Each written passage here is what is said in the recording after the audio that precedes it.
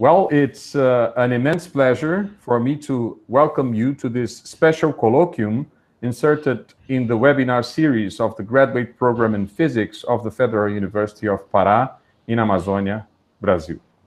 I ask everyone to kindly leave the microphone and the camera turned off, except for the moment you're going to speak. Questions will be allowed in the end, unless otherwise requested by the speaker. The questions can be asked using the chat, both in this room and in YouTube. Today, uh, we have the great honor to listen to Professor Rainer Weiss, who was awarded with the 2017 Nobel Prize in Physics, together with Barry Barish and Kip Thorne, for decisive contributions to the LIGO detector and the observation of gravitational waves. Professor Rainer was Professor Rainer Weiss was born in Berlin, and after schooling in New York, Professor Weiss studied in the Massachusetts Institute of Technology, the MIT, in the United States of America, where he, he received his Bachelor in Science in 1955 and PhD in 1962. After a couple of years at Tufts University and Princeton University, he returned to the MIT, where he has been associated with ever since. Professor Weiss is a fellow of the American Association for the Advancement of Science, the American Physical Society, Physical Society the American Academy of Arts and Science, and he's a member of the American Astronomical Society. Presently, our special guest is Professor of Physics Emeritus at the MIT. Apart from the Nobel Prize in Physics, Professor Weiss' research has been honored with numerous prizes and recognitions, including the Médaille de l'Adion Observatoire de Nice in France in 2003, Gruber Prize in Cosmology both in 2006 and 2016, the Einstein Prize from the APS in 2007, Shaw Prize in Astronomy and the Kavli Prize in Astrophysics, both in 2016, the Willis Lamb Award for Laser Science and Quantum Optics in 2017, as I said, among and many others. The beginning of gravitational wave astronomy, some results, and a little about the future is what Professor Weiss will tell us about today, and I should not make you wait longer to listen to him. Professor Rainer Weiss, Thank you very much once again for having accepted our invitation. We are honored. From this moment on, the audience is yours. Well, thank you very much. And I'm very pleased to be here. And, and I, I have never been involved with Brazil much, except that I have some colleagues in, in, in Brazil who are in the same field, and you probably know some of them, who have also tried and made advances in what we're going to be talking about. So uh, since uh, since I think they are part of something called the LIGO collab, the LIGO scientific collaboration. I don't know. I can't find them on this thing, but they are part of this collection of people of about 60 organizations that have been involved in the research you're going to hear about, and about about a thousand people are in this in this collaboration. All have contributed significantly to what you're going to hear. So uh, let me get started by with something which I hope most of you know. Here's here's Isaac Newton, and uh, we know him well for something which is very important down here, namely the formula that relates his vision of how gravity works. And it really is a universal expression. It turns out that was what's really was very important on the part of of, of, of Newton. He realized that this expression, which we're going to be talking about in a second, applies not only on the Earth, between, let's say, apples and the ground, but also between the moon and the earth and the sun and the earth and so forth. That it was really something that was a very big step forward in science, namely to associate something with is, is in the heavens with something that is on the earth itself. It was really dramatic. And what does it say? Well, it tells you that the force between two masses, m1 and m2, is proportional to a constant, which is unimportant, but it's a number, uh, but it gets weaker and weaker as the square of the distance. Now, it turns out this does beautifully to explain most of the things that we deal with in gravity. It explains the tides. It explains just what I said before, how the how the planetary systems work. It fails in a little tiny bit in the the way the planetary systems works, but people didn't realize that in the beginning, and that has to do with the planet Mercury. But we'll get to that. Anyway, there's no good reason not to use this law, and it works for even spacecraft and everything else. So but here I do want to talk about something which doesn't include in in the in the uh, Newton theory, and that is somehow information about gravity moves around in Newton's theory with almost infinite speed. If anybody thought about it at the time of Newton, he they would have said, well, there's no delay, there's nothing, there's nothing complicated about it. But it turns out there is. And the gentleman who actually had a completely different view of this is Albert Einstein. Here he is at a time which is a good bit later than when he invented the theory we're going to talk about. But his relationship to gravity is this equation right here. Now, this looks like a deceptively simple equation. It's a stinker. It's very, very hard to solve this equation. And people are only in the last 10 years able to solve this at, at the places where you need to solve it uh, on a computer. It's, that's called numerical relativity. But what does this equation tell us? It tells us that the, that the way you measure the geometry of space and time is somehow related to the distribution of energy and mass. That's this. So space and time are determined by the way energy and mass are distributed. That's a completely different layout, completely different vision of the way gravity works. And I'll try to give you a little idea about this by showing you a thing which isn't perfect, but it gives you some of idea so you can think about it.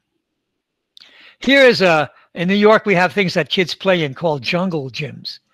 And these are things which are just parallel bars that you can erect. And so you may, they're called monkey bars. And you're going to walk around in them. They're parallel bars in three dimensions that meet, and kids jump inside of, inside of it. And what is this is sort of a cut through the jungle gym, a, a two-dimensional cut through the jungle gym. And you can see uh, out here, far away from this object, which is the sun, and here's the earth, that this the space of the jungle gym is very much like you would expect the way you the way you built it. It's rectangular and square and straight, and everything is fine. And as you get closer to these heavy things like the sun and the earth, the space gets distorted by the mass of the sun. And in fact, it gets curved. And there's a little bit of dimple like that also for the earth. You can see here's the earth and there the space is not as severely distorted, but it's distorted. There's another feature which is not in the picture, and that is just as important, but it's hard to draw. And that is that if you put clocks, you know, good clocks, at each point where there's an intersection of the bars, like here, there, everywhere there is. It's like an expensive thing to do, but it's worthwhile to, so you can understand this. You'll find an interesting thing out, that as you look at the clocks out here, they all read the same time at the same moment of time. But as you walk toward this place where the curvature of space is quite large, you will also find out that the clocks are going more slowly. They're going more slowly than the clocks out here. And that's actually an important thing. Otherwise, and this is the place where nowadays you would know that Einstein is probably the right theory because many of you probably have GPS receivers in your telephones or in your cars and they would not work if you did not account for the fact that the clocks go at a different rate in a in a weak field far away from the Earth, where these where these where the transmitters are for the GPS, the clocks are going more quickly than near the on the Earth, where you have your little handheld device. And if you didn't take account for that difference in the way time is kept, you wouldn't come home to the right place. You go probably on sort of probably half a mile away. Depends how how, how far you are, but half a mile away from where you live. And, and so it's a, an important effect.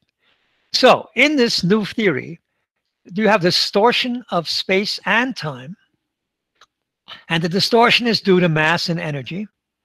And on top of that, you also have a information that travels in this space, which are called gravitational waves, which I'll show you in a minute.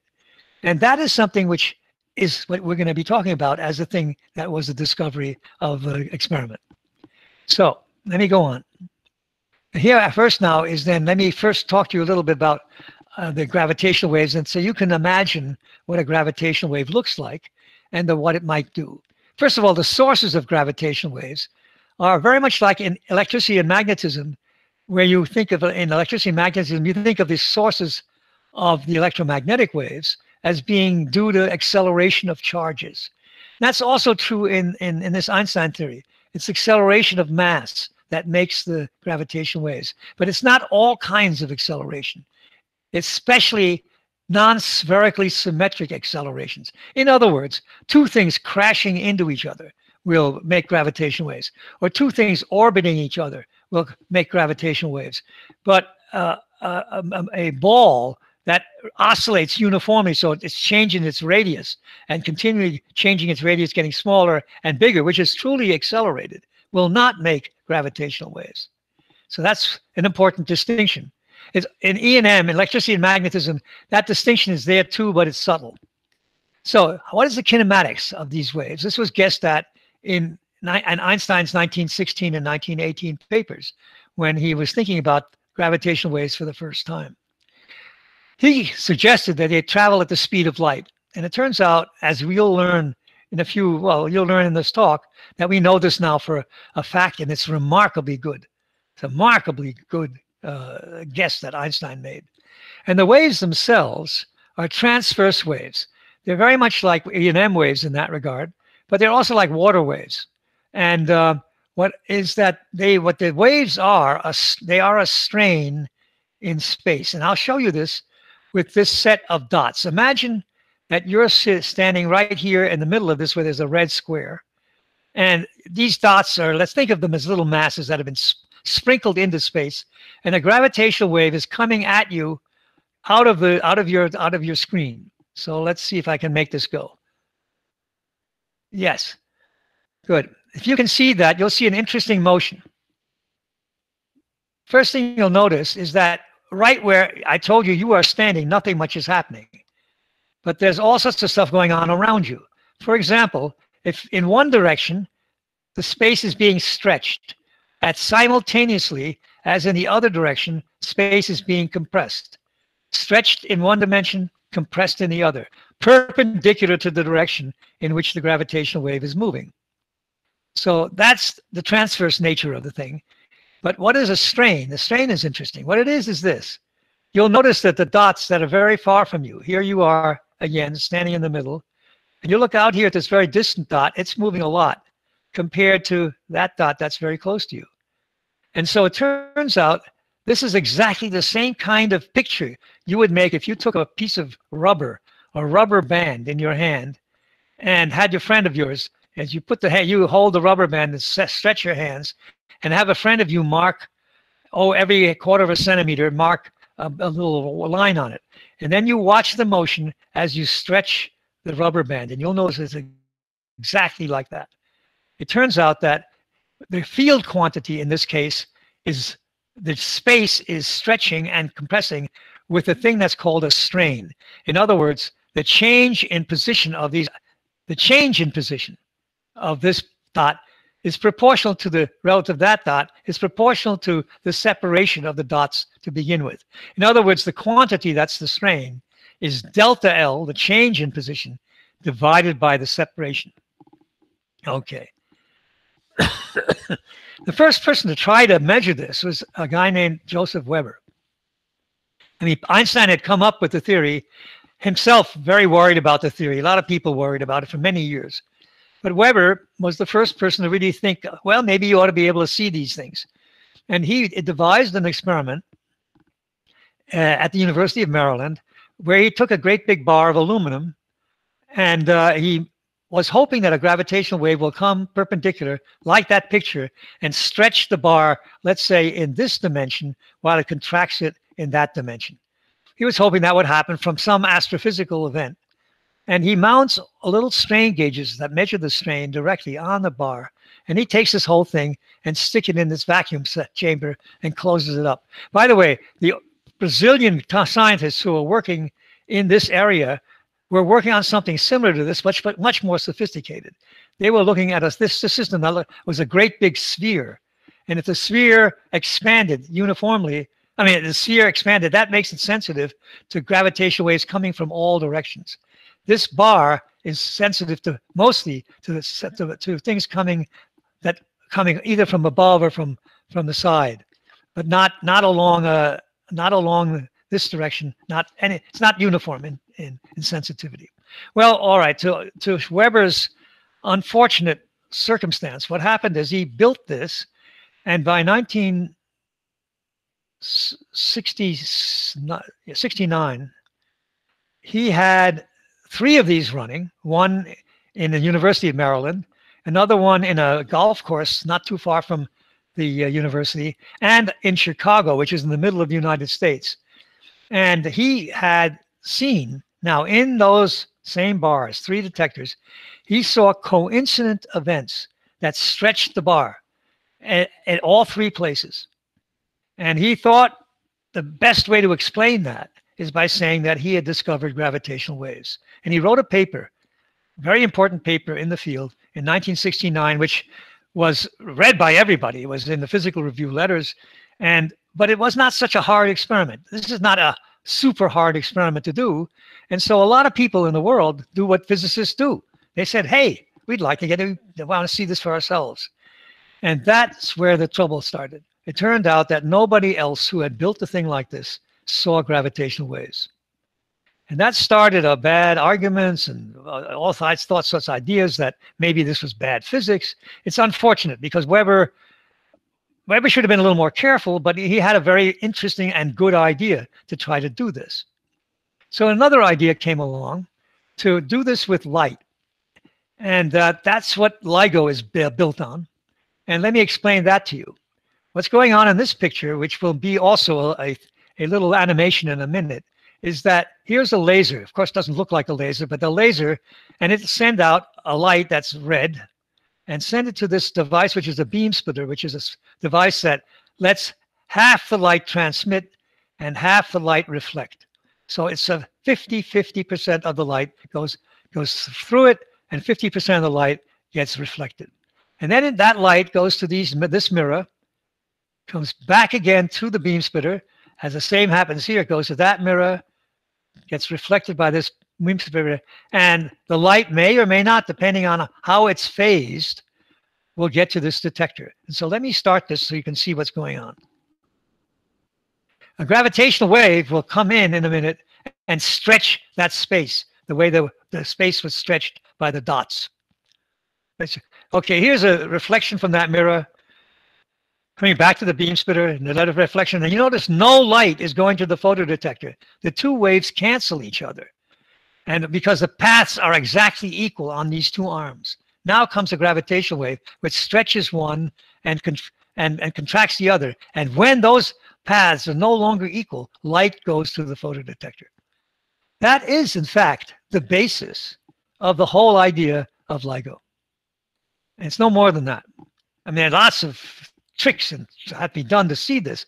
But the idea that when you set up a thing that's called a Michelson interferometer like that and make the path lengths equal between the mirror and the beam splitter on the two arms, they will give you no light at all when those times are identical. And that's the, and what happens is the gravitational wave disturbs that. It makes one arm take a little longer to send the light than the other. Okay. So that's all very well until you run into Kip Thorne. Here's Kip back in about, the, I don't know, middle 70s. And he has been st studying with his group uh, what, how big does that strain have to be? So how, how big can it be if it comes from astrophysical sources? And he comes up with a very dire number. He says here, H is the symbol that's used for that. And here's that ratio of change in length divided by the length. And Kip and others, but Kip mostly is who did a lot of thinking about this, says you've got to be able to measure strains of 10 to the minus 21 if you're going to succeed with this and detect any astrophysical sources. Well, let's put that into context. It's a terribly small number. Well, if we have L being four kilometers, which is what LIGO is, the change in length that's associated with that would be about four times 10 to the minus 18 meters. That's one thousandth the size of a nucleus in an atom, over four kilometers. And that was considered very, very difficult by almost everybody, and they were right. And I'll give it to you in a nice way to say it. You were measuring changes in the length that were parts in 10 to the 12 of a wavelength if you were going to succeed with this of light. In other words, you had to somehow measure the wavelength to parts in 10 to the 12 or measure the, the length change by 10 to the minus 12 of a wavelength of light. So that was hard, but it was not impossible. The thing that really was hard was this one. Namely, you also had to make sure that those mirrors that you saw in that little animation were not vibrating due to other reasons than gravitational waves. And for example, right at the Earth's surface, where you're now sitting, and maybe, I don't know, I think Pará is near the ocean, so it's a little worse than this. But the amount of motion of the ground in at, let's say, frequencies like one hertz is 10 to the minus 12 of this number. In other words, if you, it's, it's excuse me, it's, it's 10 to it's 10 to the 12 times. Sorry, let me say it carefully. The motion of the Earth is about one micron, a few microns, 10 to the minus six of uh, meters of motion. That's what your your room is shaking up and down by 10 to the minus six meters. That means in order to get to 10 to the minus 18, you have to build some sort of isolation system that isolates to 10 to the minus 12 of the Earth's motion. That was really hard. So here's the way the, the detector was made that actually did the measurement. Uh, and this is the one that actually made, and now I'll walk you through this one. You know a little about this already. Here's the laser that you were familiar with from the other animation. Here's that beam splitter. And over here are those mirrors that were reflecting the light to the, okay, those two mirrors. And then you also had a detector there. Now here, what here's what's going on. All these extra things make it so that you get sensitivity. For example, this mirror right there, which wasn't in the animation, is partially reflecting. And what it causes is the light to bounce back and forth many times in here. So the time that the light spends interacting with a gravitational wave is very much longer than it was without that mirror there. That's exactly the same thing happens on this side. And that optical cavity, it's a Fabry-Perot cavity, you make it so that the time the light spends in the arms is also exactly equal in these two arms. That makes it very much the same as what we were having before. And uh, and then here is the detector. Now, what is this? This mirror right now is a again a partial mirror. What does it do? In the thing we sh we showed you, if you make the time the light spends in this arm and in that arm identical, no light goes to the photodetector. Well, where does the light go? The light goes right back to the to the laser. That's bad. And in order to keep the light from hitting the laser, what you put another mirror in here, which does something very elegant. It takes the light that comes back from the interferometer and interferes it with the light that ref is reflected from from that mirror the laser light that's reflected from that mirror. So here are the two beams that interfere. One that goes through that mirror and another one that's reflected by that mirror. And you can make them interfere so no light goes back to the laser. When you do that, an awful lot of light builds up in here. In that you might have a 10, might have a, a 20 watt laser here, you might have two to three kilowatts of light circulating in this, and you might have a half a megawatt of light going back and forth in here. Now, this extra mirror is a little subtle. What that does is it takes the information that is put on the light by the gravitational wave and sends it back into the interferometer. And we'll talk, you could ask me questions about that later. It's, it, it's, it was used in the, in the detector that made the detection. Um, so here then is the noises. These are what's plotted here is the equivalent strain noise, that's H of F, meaning how much noise at each frequency is allowed. And so this is strain per square root of frequency. Complicated system, it's an amplitude of noise. And here is the frequency. So by the way, here is, uh, so yeah, so you can, let me go stay, go back to this. This spectral density, if you want to convert that to the 10 to the minus 21, for example, let's say here at this very minimum point of the noise, which we'll get to, that's about a few times 10 to the minus 23 uh, strain per root hertz. If you multiply that by the square root of the frequency, which is about 10 because you're at 100 hertz, you get an, an RMS strain, a root mean square strain of about 10 to the minus 22. So this detector was a little better than what Kip said we needed, okay? And uh, here are the different things that, these are the noise terms that limit the performance. Is this yellow curve right in here is the area where you could detect. And this is, this limit is due to the fact that you have fi finite number of photons. And in fact, we call that the quantum noise. And that's, if you increase the amount of light, this noise will go down. but at the expense of increasing what's called the radiation pressure noise, which right now isn't playing much of a role. If you put more and more light in and bring this down, this part of the curve starts going up. So you got to, there's a game you have to play eventually. The other limiting curve right here is the fact that everything's at room temperature. And uh, that's something that the group in, in, in Brazil avoided by going to liquid helium temperature. And uh, so what, but we're living at room temperature. And so everything shakes a little bit due to the fact that it's warm. And that has a little bit of noise that limits it right around a very important region in the first detector.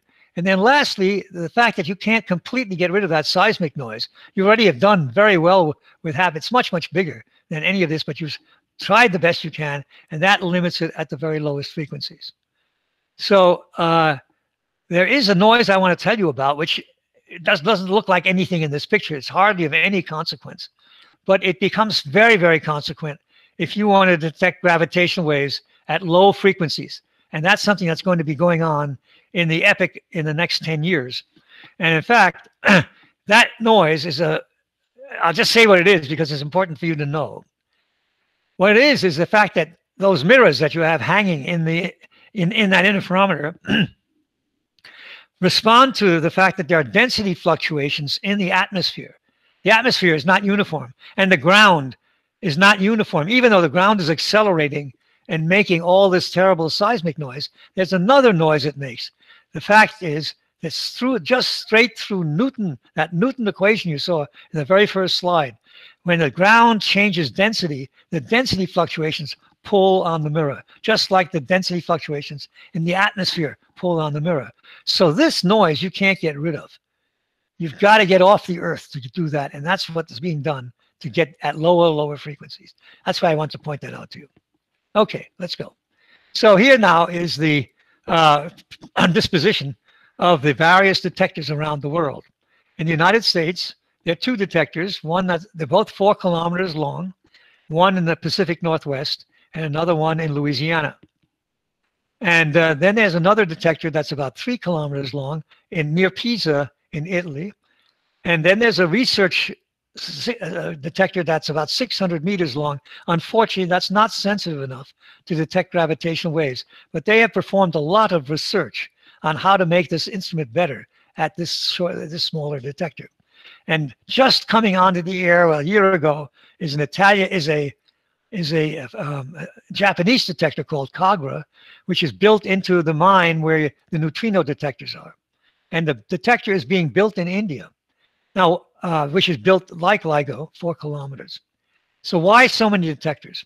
You'll see as we get to the science that you need many detectors to figure out where the gravitational wave sources that you are detecting really are. We'll get back to that when, uh, when, when we get to what things we've discovered. So here's a little tour of the LIGO lab. Looking, this is looking down on the sor on the detector in Louisiana. And uh, this should move a little bit. Yeah, this is looking down on the one in the Pacific Northwest. And here's that concrete envelope that holds a vacuum tube inside of it. And there the laser beams run back and forth. Here's the, the highly evacuated tube that's inside that concrete cover. And here's a standard laser table and optics table, like any lab you would have in, in Pará. And here is the control room for the uh, LIGO system and with people learning how to run the detector. Okay, here is the actual performance. And this is a slide I want to show only because we're very proud of it. And it shows the hard work that went into the following. This now is the noise. All these different curves are associated with different dates of us working on the, the detector in in both uh, both in Pacific, uh, Pacific Northwest and in Louisiana. But what's going on here is you'll notice that here is how well we could measure a meter, a noise in meters instead of a strain. That's you can just divide this by 4,000 to get the strain. And uh, so that's as you go down in this picture, the motion in the detector gets smaller and smaller. In other words, it gets more and more sensitive. And this is again frequency. Here's 100, 100 hertz. There's one kilohertz. So you can see what happened. When we started with the whole thing, it was pretty bad. I mean, these are orders of magnitude, each one of these. And little by little, we got things got better. I won't go into all the reasons how we did this, but eventually we got down to here. And the the red line is the, the red is the best we got in that first detector. And you'll notice something interesting. There's a dotted dashed line in there, which is what how we predicted the detector should have worked. And it did, we didn't quite make the sensitivity curve at these low frequencies, but we got pretty close to it. In fact, we got right to it. By the time we got to about 70 hertz, or 60 hertz, uh, the noise that we actually measured and what we predicted was very close. But we had not detected gravitational waves. And we call that a clean non-detection. And most people would say, well, oh, that's terrible. That's absolutely awful. Why you've spent all that time and you didn't detect anything. Well, it was crucial that we did that because we were able with that whole procedure to realize we had to make improvements. And having demonstrated that we could do as well as we calculated with what we thought we would do, we were able to get further funding to do the next thing, which was called advanced LIGO. And the advancements that were made, let me say where they were made, they specifically addressed this region at low frequencies where things were not as good as they should have been. And they were to make a very much more fancy isolation system. All the low frequency noise had was due to the seismic noise, as you saw in that picture. And so we made pendula uh, that multiple pendula. If you play a little bit with at home when you go home, and you can you can see how a pendulum isolates.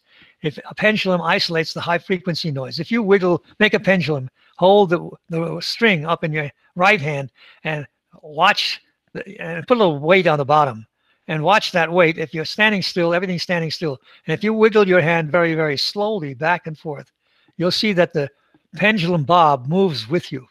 But if you wiggle it fast, you'll notice that the pendulum bob stands still or almost still. So that's what we do. You do this, that's how you get rid of uh, the noise. And so this is done now here. Once there's, this is a mass, and that's a spring to make it a little better. So this is first pendulum. That pendulum is hanging from, and this one is hanging from another one.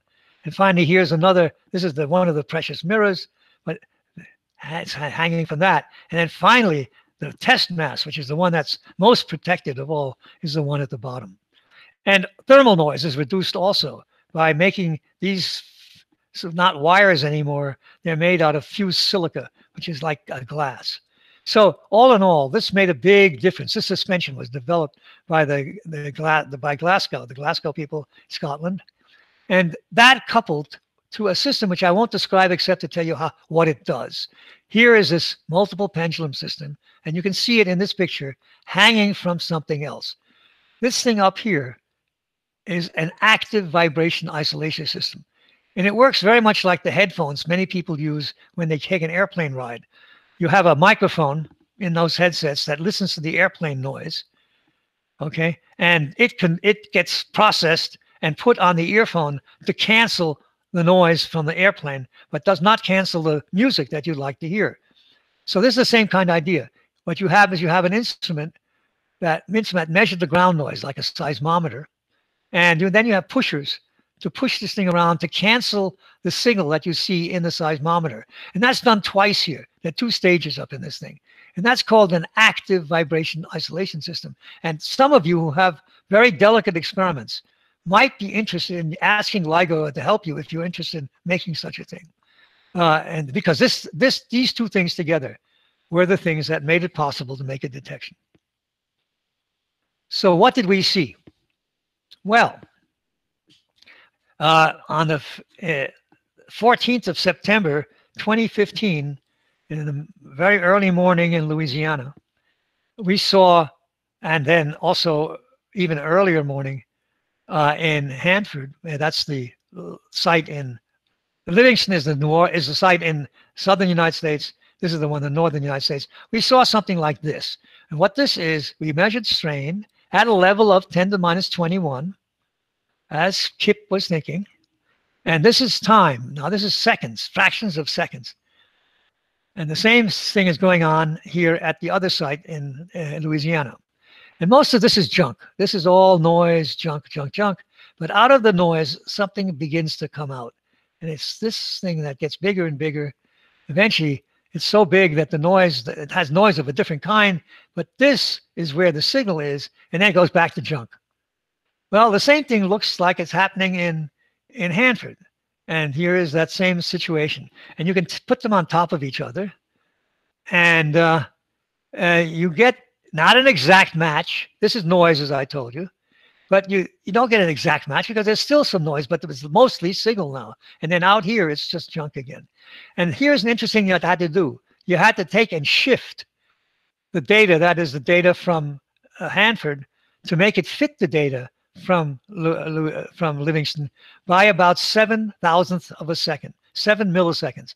And that gave us the first inkling that if this was a gravitational wave, and we were not sure of that, if this were a gravitational wave, it must have come from the south, the southern sky somehow, because it hit Louisiana first, and then seven thousandths of a second later, it hit the Pacific Northwest, going through the Earth. The Earth, it, the Earth doesn't even see the gravitational waves. It doesn't stop it. Nothing stops it.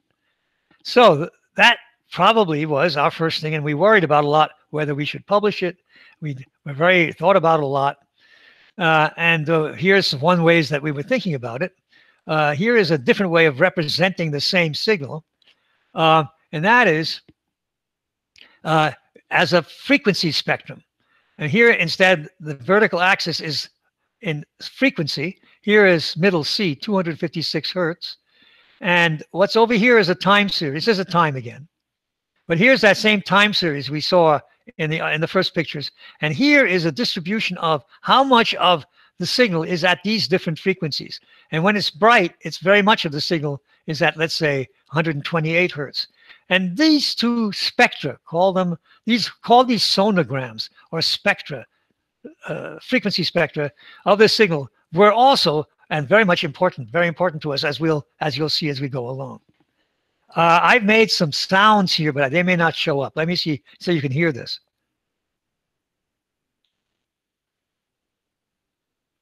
I don't know if you heard it, but uh, if you did, here's a way of mim we mess the sound up a little bit so you can hear it better. I don't know if you heard it. It's unimportant, but this is more important. This is now a model, and this is no longer an artist's rendition, but this is a model of using the Einstein theory in with numerical relativity.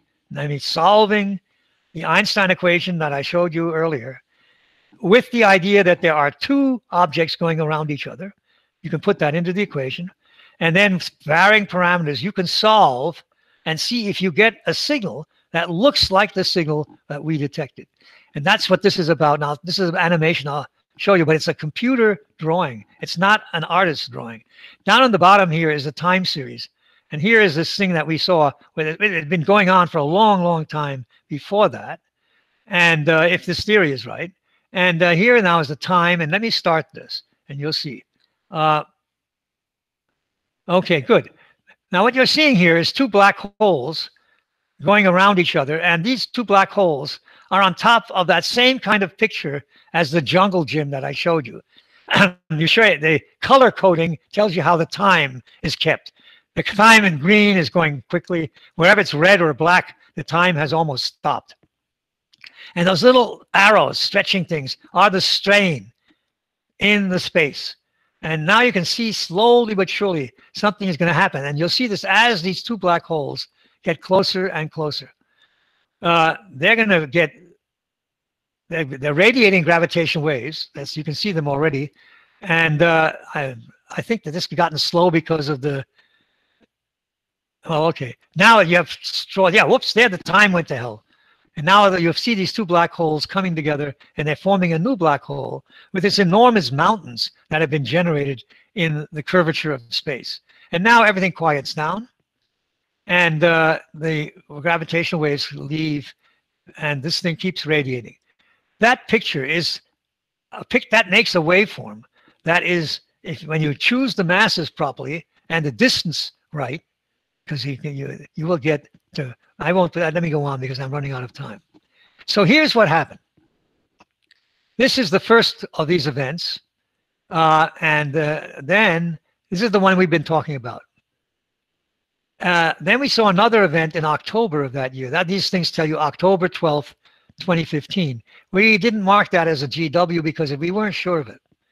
Uh, but the first one, so we can tell you what we knew a lot, having done that numerical modeling, that the black holes that are associated with this was a, one of them weighed 36 suns, the other one 29, and three, the energy of three suns was thrown out into space as gravitational waves. It's an unbelievable amount of energy. And the whole universe didn't, the energy that went out for that very short time was more than the whole energy of the entire you know optical and R radio and X-ray and gamma ray energy of all the objects in the universe just for that brief moment. A tremendous amount of energy went into this for very little effect, as you see, 10 to the minus 21. So anyway, the next one we saw was this one. And that was a, a day after Christmas as celebrated in the United States in that year. And that was a completely different, was much longer, smaller masses, smaller amount of radiation going off, but it lasted a long time. And this was in our, we set, detected all of that. And that made us believe, well, maybe this one is right, that one is right too. And so we decided to publish.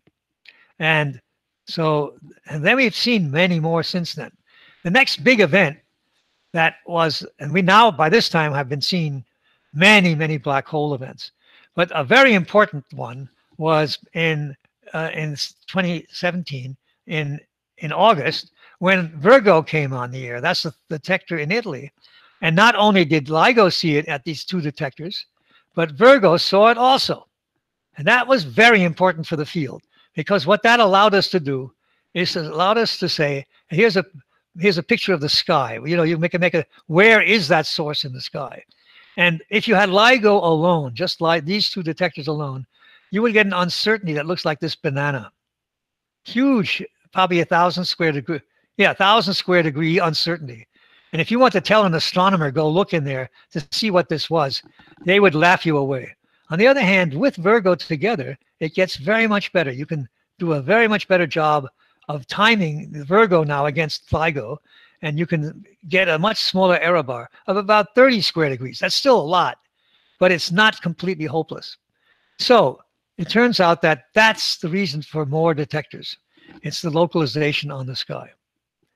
And now we've, by the time, this is a picture that was made within the last year. This is sort of a picture of all the black hole. This is the black hole mass going like that. And these is just a pretty picture of all the pairs we've seen. Everything where two black holes got together made a bigger one. And we've uh, the biggest one we've up here is almost at 160 so, solar masses. All of these, we don't know where they all come from. That's one of the nice and interesting puzzles that are coming out of this thing. Yes, they could come from collapsing stars, but they don't have to. They could come from collections of stars called um, globular clusters, where many, many stars live together. 10 to the 9 stars live in a small region, and you could have things dynamically make them. They could also come possibly from the initial universe. In other words, made somehow in the early universe before there were stars. That's an interesting idea. People have thought about that. Anyway, we don't know exactly where they come from. That's a big new puzzle that has happened. Now, the next source we saw was fascinating. This one we saw also in August of 2017. And you can see something already very different about it. Down here, since you're now a little familiar with these sonograms, you can see what this is. What happened here And I'm trying to look at my watch. It, didn't stop. Okay. Uh, the uh, it lasted a long time. Here it's about from here to there is about 10 seconds, not not fractions of seconds, and it built up nicely. And, then eventually, what happened is that these two things stopped. We it's it, it stopped outside of our range range of frequencies. We're not sensitive enough. But I could play you this. I will do this anyway in the event that it works but I'm not looking forward to it. I'll start this, but keep talking. This is a sound. If the sound worked, it will give you a chirp, and you'll hear it as a chirp. Uh, now, I hope you heard that, but you may may not have. So, what the most important thing about this is that it was also seen by a ga gamma ray telescope in space, and just about that line right there, it was seen at both 10 to 50 keV and also between 50 to 300 keV of, of gamma ray energy. And here is that burst. and uh, it, seen and it was also seen by another satellite, and uh, that was not as uh, it didn't do it as well. I mean, these are very good sites. This one, well, you can see it. It's not margin. It's there, but it's marginal. Now, the important thing this does, not only does it give confirmation, but it gives something else. It tells us two things. It tells us the gravitational wave got to us, let's say, at the moment of that bar right there. And we saw the gamma ray at about two seconds later. But this source was 160 million light years away from us. We can know that when we start solving for the masses. And for 160 million years, these two waves, the electromagnetic wave and the gravitational wave, were traveling parallel to each other. And they are only two seconds different. They may be zero seconds different because it may take two seconds for the explosion to build up in the at the star where the neutron these turn out to be two neutron stars as we'll see in a minute where it may take a while for them to make a display so gamma rays come. So we learned immediately something which is what i told you in the beginning of the talk that einstein was right on the mark. Gravitational waves and electromagnetic waves travel at the same speed to a part in 10 to the 15 that's because it's so far away so anyway here's what came of that came of that here's the when you now look at the sky and you say, well, where did LIGO think it was? It's that banana and that banana. You add the the uh, Virgo detector to it. It's into here, that very small band. And uh, then here are the uncertainties of the of the of this of the gamma ray telescopes. This is on Fermi, and that uncertainty of the uh, integral telescope is also on Fermi, but it's a different instrument, huge. So it turns out this sighting that we were able, with the help of three detectors, to tell where this is, made it possible for astronomers to go look. And what they saw was this. They saw a galaxy. If you want the name of call a galaxy, it's up here. It's uh, just a galaxy far away, 140 million light years away. And here are stars that are in our own galaxy, these guys. They're in our own galaxy. And right there, there is something which wasn't there before. And in fact, they looked at that same place about 20 days before. They, people look all the time. Here is that same galaxy, and here are those same stars, and here that same place, and there's nothing there. Now, that was unbelievably scientifically productive because now optical telescopes, X ray telescopes, gamma ray telescopes, uh, radio telescopes. Everybody started training their telescope onto this, and they learned a tremendous amount of information. What they learned was indeed what I sort of blurted out that this is two neutron stars, two stars that are the weight of the sun, but the size of let's say an average city. No, they're not very big for a star, and they're coming together. They're making an explosion, and we they are going around each other. That's why they make gravitational waves and they will form a black hole. And that was determined later by X-ray and gamma ray, X-ray and radio frequency measurements. And uh, they make a display that we will later see as a jet that comes out just as the black hole forms. And what you see is a, what's called a kilonova. And a kilonova is after these two neutron stars have collided, all these neutrons, and there are protons in there too, but all neutrons, huge neutron density, they there's a cloud of neutrons that's highly, highly excited, and they make all sorts of things. One of the things they do is make the heavy elements. Here's the picture of what they do, and something which people had guessed at, but they weren't sure of. Uh, they guessed at that the this is a periodic table with a color coding. You've probably never seen one like this, but here's hydrogen, and it's blue. And over here, over on the right, is helium, and that's blue. And what does blue mean? Well, it came from the initial explosion of the universe. And a little bit of the lightest other element, lithium, is made in the early universe as well. But most of the other stuff is made either in dying stars, exploding stars, uh, merging neutron. We'll get to that. That's where we're now. Or exploding white dwarfs. So all these color codings. But nobody had quite figured out how you make the heaviest. All these very, very distant, like, for example, gold and platinum. Uh, people couldn't make gold and platinum in stars. It just didn't last long enough. Took cook nuclear nuclei that got that heavy by a process of collecting more and more neutrons onto a, a, a, bor- a barium nucleus, for example. So we learned in this thing, which had been suspected, but not we were not absolutely sure. And now we know pretty well that all the heavy elements, especially these that people love, but also some they don't like, like plutonium and uranium, all of these things are made in the universe in collisions of neutron stars. That was a new piece of information. Another new piece of information that came out of that is really quite spectacular also, and is a way to the future, looking into the future.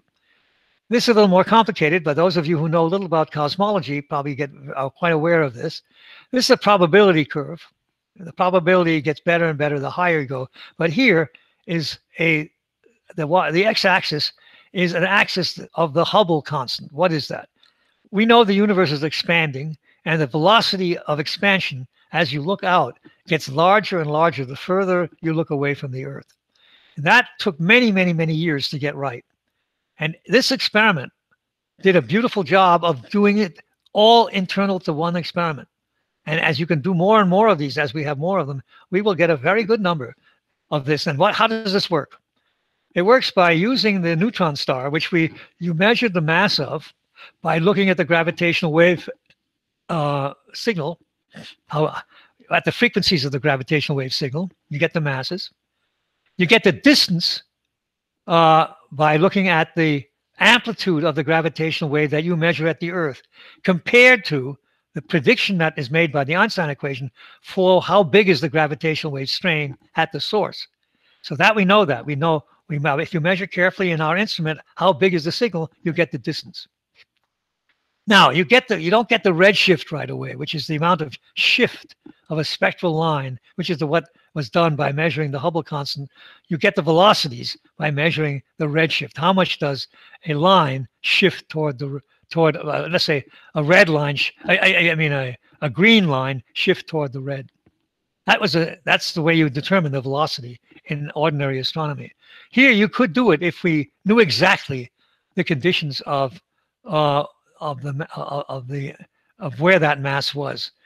We can't do that quite, but we can do it in this case because we know what galaxy it was associated with. And so we know the redshift that's associated with the velocity of that galaxy relative to us. So we have all the information needed to make a prediction or number for the Hubble constant, which is that ratio of the velocity to the distance. And uh, so here are the different measurements. And there are two measurements that have been made recently. Uh, the one that's the classic measurement is the one in, in brown here. That, that, that's the way you measure supernova and measure their distance by looking how bright they are, and you measure their redshift with spectrometers. And that has slowly converged on a was uh, many not within your lifetimes. It's changed by a factor of two. In my certainly in my lifetime, it's changed by a factor of two. So it turns out that's again the precision now is getting down to you know 10% or better. Here is another measurement that comes from using the early history of the universe as a way of deciding what must be the Hubble constant. You get that from cosmology and measuring the cosmic background radiation. And that gives you this band right here. And they don't agree, and people have made a big fuss about this. I don't know whether we should make a big fuss about that, but we, as life goes on, either this will get better and they will merge or they may not, and this gets better defined. Anyway, here's a third way to measure it. And here is the prediction you get from measuring using the LIGO detection. And it has a high probability. That's an accident right between these two. That's, I'm sure, an accident. Look at the width of the uncertainty. Anyway, with many, many more neutron star binaries, which we will be seeing, uh, we will be able to get into that business as well with gravitational wave detection.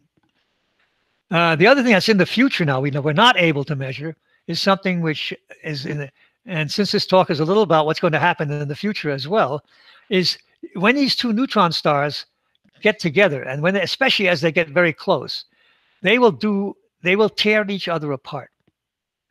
In other words, before they collide, they one neutron star will pull with a gravitational, uh, the tidal force the Newtonian tidal force, if you want to think of it that way, of one star on the other causes the nuclear material to become ellipsoidal. It stretches it, and it changes the frequency of the of the of, of the orbit, the orbital frequency. And what it does is this: it makes it go a little quick, more quickly.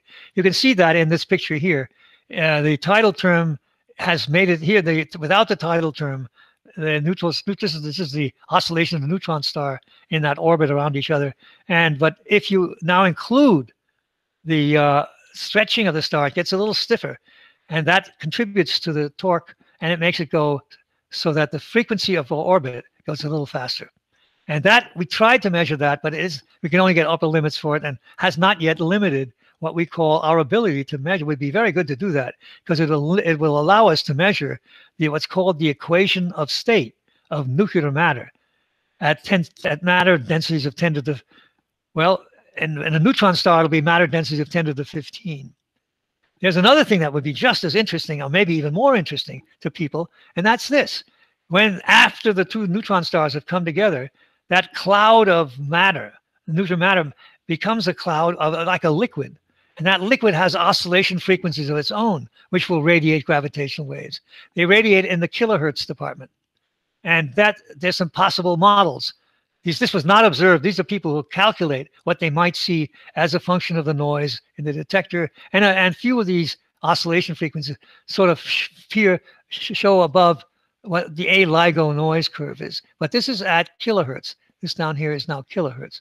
Anyway, this is also in the future. So this uh, now, let me take you to uh, uh, a future of the field in terms of what we want to do in the future. And uh, this is uh, a picture which is a little arrogant. Uh, what you see here is uh, the, the, the, same kind of noise versus frequency measurement predicted for the various detectors. The one that actually made the measurement and which we're talking about, all these measurements that you just talked about, is the one on the top here. It's the uh, advanced LIGO O2 curve. That's a real bunch of data, and that's the way it It's not operating yet at design. At design, it'll be where this black curve is. So there's another factor of maybe one and a half, something like that, maybe two to go. And we already have planned and are building stuff to get to something called LIGO A plus. So this is probably the best we will do, at least at this present, the way our thinking goes, this green curve is the best we can probably do in the next four or five years in the facilities we have. But we don't want to stop there because we would love to do is to take this field, the field of gravitational wave astronomy, into cosmology. And there are people in the United States, there are also people in Europe uh, in Europe, called this project is called the Einstein Telescope. In the United States, it's called Cosmic Explorer. And these are now completely different detectors. In Europe, they're planning as the next detector to supplant the Virgo detector. They want to build a 10 kilometer triangle underground in Europe. And uh, they're busy trying to find sites for it and trying to figure out how much it might cost. In the United States, we're thinking that we could do almost as well as that, maybe a little better even, if we built a 40, 40 kilometer detector like LIGO on the surface. And we would want to build three of these around the world because we, we, we want to be able to identify where the sources are. And so here's a kind of thing that people, I'll show you what this is a very pretty picture if you have the patience to look at it. What it is, is the radial distance here is the distance away from us. It's measured in units of the redshift. Okay. So the edge of the universe is at, well, uh, somewhere in here. Uh, edge is very literal. It's not, there's, of course, there's no edge, but most of the universe's solid stuff is over with by the time you get to there. And here is, let's look for black holes, for example. These white dots is the distribution of black holes as a function of distance away from us. Okay. And you can see that uh, here the blue curve is the is, is this one, that the, the, the LIGO we now have. And you can see that we don't see the things that are outside of us, but we do see the things that are inside here. So that's making up most of the black holes we're seeing. And then if you get to, let's say, LIGO A+, plus, you'll be right in the middle of the distribution of all the black holes. So we should be getting black holes at a rate of a few per hour. And if you then build Cosmic Explorer or and then make improvements on it, these are these red and these uh, purple lines, you're going to see the entire distribution of black holes in the universe. And you will also find out, for example, maybe if those black holes are primordial. because then this doesn't look that way anymore. And here is the same situation for the neutron stars. These are curves only for things we already know. I mean, the, curve gets much more exciting when you plot things you don't know because you can put them anywhere. But uh, the uh, so here is the same story. Uh, we are seeing maybe one or two a year of um, of these neutron star binaries right now. And if you want to do that Hubble measurement, expect yeah, here you still won't do very well with advanced with the advanced LIGO A plus. That's whoops uh, Uh, this this curve right there.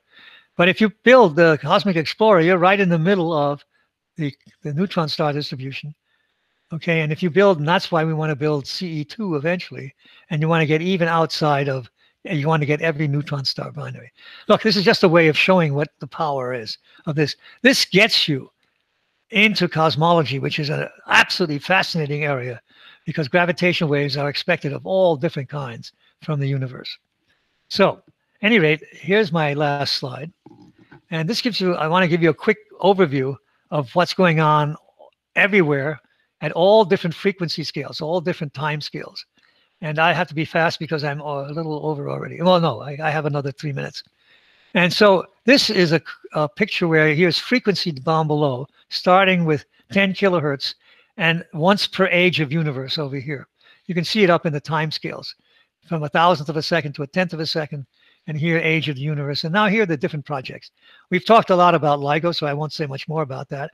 What's immediately going on already in Europe and in the United States at one time was an American project, which the Americans gave to the Germans effectively by saying they don't have the money to build it. And uh, so this is a satellite measurement based on having three detectors in a triangle and then in an orbit that is in an equilateral triangle around the same position of the from the sun as the earth and it goes around once a year around the sun. And a very clever orbit if you incline this triangle to the orbit uh, this will need very little station station keeping. You won't have to put much rocketry on any of these things to keep that orbit and that triangle in existence. And this thing has a lovely future. It'll look at black holes and massive black holes like the ones in our own galaxy when they eat something. And they're all over the galaxy. So they're going to be guaranteed to see enormous black holes and little black holes falling into big holes. And that'll be a marvelous way to test general relativity. Uh, and then uh, we'll also look at all many white dwarf binaries in our own galaxy. And that's maybe a worry because it might be so noisy from those that people worry about it. I'm not worried about it. There'll always be enough information to separate the big black holes from the white dwarf binaries. Anyway, these are all gravitational wave signals. Here's an experiment that's going on right now, and that is to use pulsar timing in our own galaxy as a way of measuring gravitational waves that are coming through our galaxy. And the idea is that as a gravitational wave comes through our galaxy, and you look at a very distant pulsar and look at it, the frequency of its pulsations, as the gravitational wave goes by, the frequency of the pulsations will change a little and that will happen at different in different uh, with uh, as a function of our position in the as a function of our position in the galaxy relative to all the different pulsars. You want to look at many, many pulsars, and they have about 40 to 50 pulsars distributed all over the galaxy that they want to look at. And they will look for at a pattern that the gravitational wave makes, namely that, let's say, all the pulsars that are in the north and south will go a little faster and all the pulsars in the east and west, they'll go a little slower. I mean, I, I'm just making that up. There will be a pattern that looks quadrupolar. And they now have done already a lot of looking. They are at this moment analyzing signals that they think might have come from gigantic black holes colliding to each other. That's one of the things that 10 to the 12, 10 to the 11 solar mass black holes in the early parts of the universe. Uh, but the trouble with that experiment takes years, four or five years to develop enough statistics so that you can make a new measurement. Here's the thing that's going on right now also, and that's a very exciting experiment that made a, a claim for a detection but was wrong, and I don't blame them for it, but they're doing it right now. And these people are using the cosmic background radiation, which is the microwave background. It's electromagnetic cosmic background that we have detected, the three degrees background. And they're looking to see if that three degree background has it has polarization. In other words, every electromagnetic wave has is polarized. But you can do something if there are primordial gravitational waves generated by inflation, which is a new idea and wild idea, in fact. But in inflation, uh, if Starobinsky in, in Russia is right, there you expect quantum fluctuations, really quantum fluctuations in the universe, when the universe was very, very tiny, that they would cause gravitational waves to be generated by the fluctuations of the density that are due to the quantum mechanics of the universe. And those gravitational waves now cause patterns in the polarization. And that's what those that's what you see in this picture, patterns in the polarization. They're called B modes in the polarization of the light that is emitted by the uh, plasma. That's very, very much later than the, when the gravitational waves were generated. So the history here is gravitational waves get generated at time t equals zero almost. And we're looking at the plasma 300,000 years after that. And that has density fluctuations in it induced by the gravitational waves, which cause the polarization to change and make a pattern in the polarization. And that experiment was done from high altitude. And for example, there's a very important experiment in the Atacama Desert uh, that's now going on in the South Pole, um, uh, which will hope to show this these B modes. That's an exciting experiment. And if that fails or it succeeds, it doesn't matter. There are ideas for how to do a direct measurement of the gravitational waves from that primordial period. Unfortunately, it's not going to be done by any of these experiments on the right. It's going to take a new apparatus you stick in space. What it'll be, it'll be a combination of the uh, uh, the LISA experiment, which is uh, the satellite experiment, with the techniques that have been developed on the ground. And that's so complicated that people don't think about it for another 50 years. Anyway, thank you very much. So uh, we thank you very much, uh, Professor, for the excellent talk. And for that, I'll ask everybody in this moment to turn on their microphones for a huge round of applause in acknowledgement.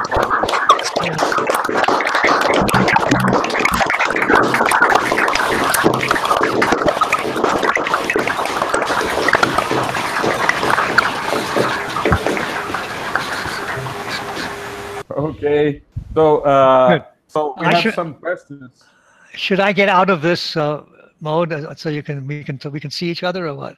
It's what, up what, to you, Professor. Maybe you you will use your slides I mean to answer some of the questions, but I leave it completely up to you.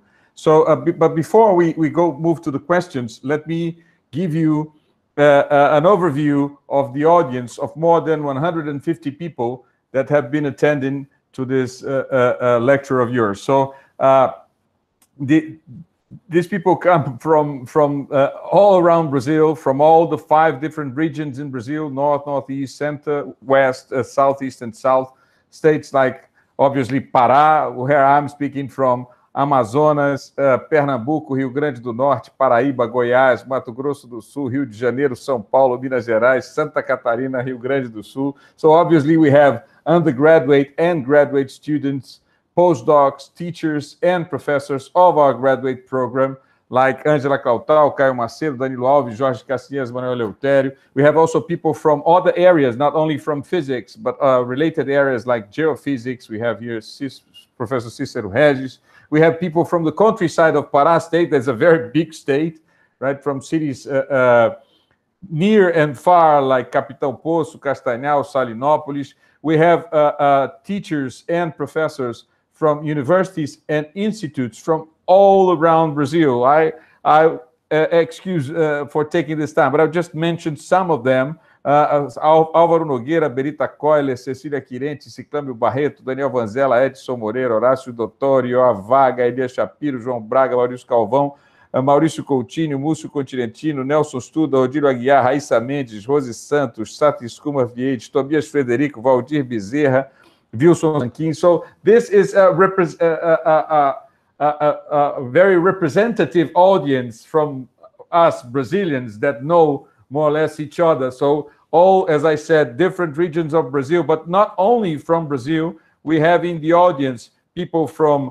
Argentina, like uh, uh, Mariano Domingues. Uh, we have people attending from Denmark, like Rafael Santos. We have people from Italy, like Alexander Kamenshchik.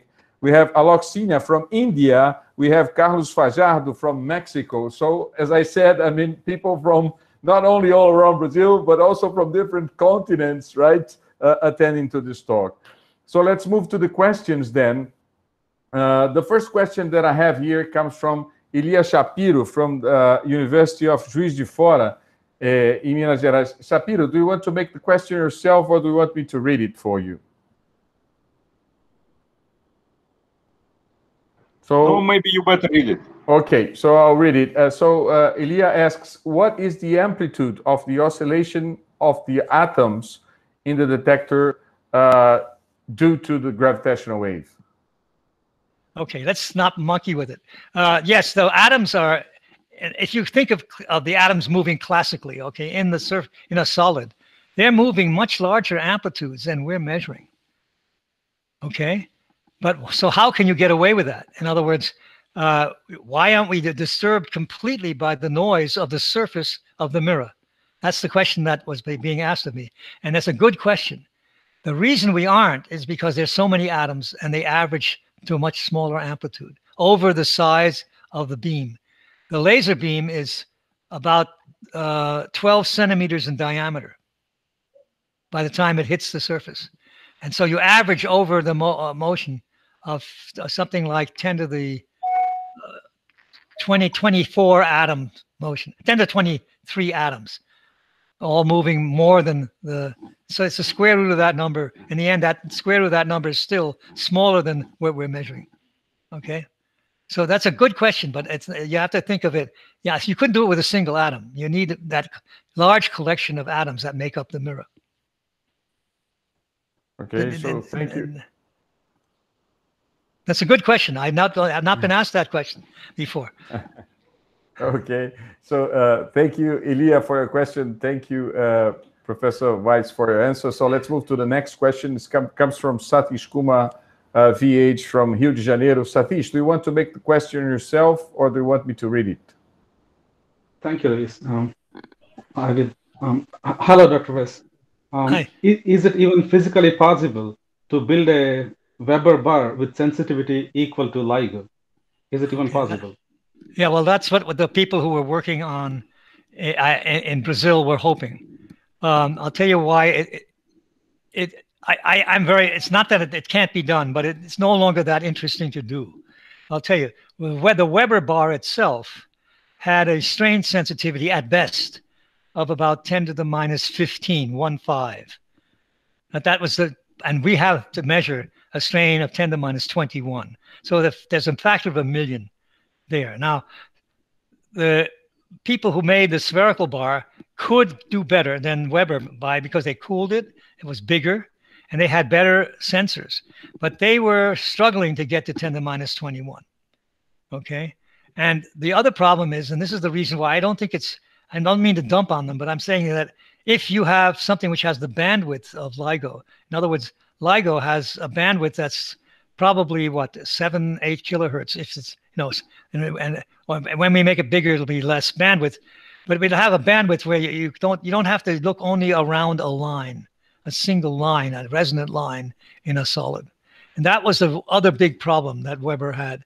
He could his bars were sensitive at 1.6 kilo, kilohertz, and they were they were looked for they looked for pulses which at that frequency. Now, it's true, the Fourier components of a pulse will show up at 1.6 kilohertz, but you lose so much of the pulse energy by only looking at 1.6 kilohertz.